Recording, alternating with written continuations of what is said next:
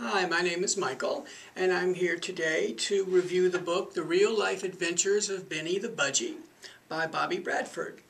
Uh, budgie is slang for budgerigar, which is uh, an English term for parakeet. So this is a children's picture book about the adventures of Benny the Budgie. It's a wonderful children's picture book.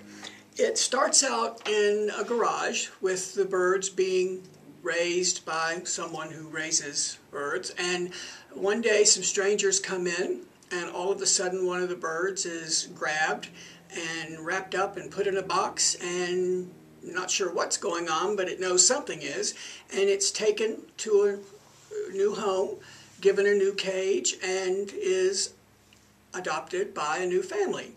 And while the bird at first is a little upset, would be, I mean, its family's gone.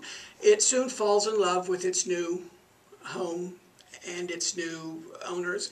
And this is a delightful story because it's, it's told from the viewpoint of the bird.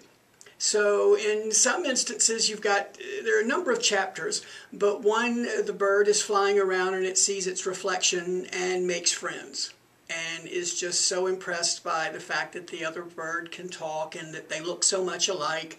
And you can sense, it's wonderful because you can sense what it might be like for a little parakeet to see itself in a mirror. The thing that impressed me the most about the book is that you can tell the author loves animals, and especially budgies. And for a young child who is interested in raising an animal or having a pet, I would suggest this book because it gives you an insight into how birds think uh, as much as I guess we can know. But it also provides the basic foundations for what is required to be a good pet owner and to be a good loving pet owner. Love is very important and Benny does fall in love with his family, and it's a really delightful story. And again, it's Benny, The Real Life Adventures of Benny the Budgie by Bobby Bradford, and I would recommend this book.